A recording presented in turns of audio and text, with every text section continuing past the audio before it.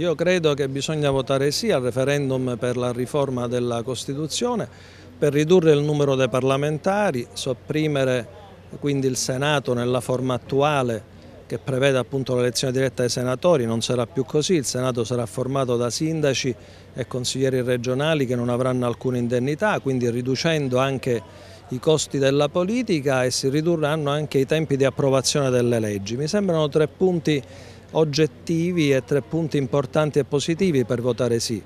Ridurre i tempi di approvazione delle leggi, perché? Perché non ci sarà più questo ping pong che attualmente c'è tra Camera e Senato. Un disegno di legge viene approvato alla Camera, poi viene inviato al Senato, se il Senato lo modifica anche solo di una virgola torna a quel punto alla Camera e si realizza un avanti e indietro, una navetta come a volte abbiamo sentito dire, un ping pong che rallenta i tempi di approvazione delle leggi che invece spesso sono leggi che vanno approvate con una certa celerità, a maggior ragione in questo momento, un momento di crisi, servono risposte puntuali e precise, ridurre il numero dei parlamentari, ridurre i costi della politica. Istituzioni più semplici, più efficienti, meno costose, un rapporto con i cittadini che viene premiato, che viene premiato nel dare più potere ai cittadini e questa è l'occasione per trasformare queste lunghe discussioni che abbiamo fatto nel centro-sinistra, ma non solo nel centro-sinistra, per portarle finalmente a compimento. Secondo lei l'ingranaggio della comunicazione da parte del Partito Democratico nei confronti dei cittadini su queste ragioni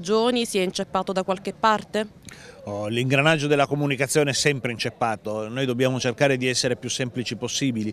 Volete voi finire con il bicameralismo come diciamo da 30 anni? Bene, votate sì. Volete tagliare un terzo dei parlamentari? Votate sì. Volete ridurre i costi della politica? Votate sì. Questi e altri motivi ispirano il votare sì. La riforma diciamo, eh, riguarda soprattutto la parte seconda della nostra Costituzione, che è quella che eh, diciamo, attiene agli strumenti per far funzionare funzionare meglio la Costituzione, ma i principi fondanti, i valori principali della nostra Costituzione, che peraltro è una delle più belle del mondo, non sono stati toccati, quindi e, e, diciamo, non si riesce a capire perché su, su, su, questo punto nessuno dice niente, cioè c'è una voglia di eh, modificare quello che è il funzionamento della Costituzione e penso che il legislatore ci sia riuscito. Peraltro possiamo dire che è frutto di un compromesso politico e quindi non è affatto possiamo avere una, una modifica completa, ma è, il risultato è questo. È un incontro importante grazie al Centro Studi Salvatore Aldisio eh, per far capire alla gente l'importanza del referendum. Tutti abbiamo chiesto da, eh, da, da, da, tantissimi anni la riduzione dei costi della politica, la riduzione dei parlamentari,